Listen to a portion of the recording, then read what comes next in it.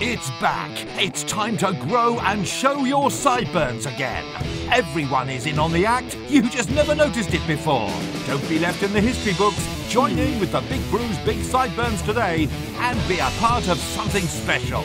2012 produced some cracking mutton chops. And let's make 2013 even better.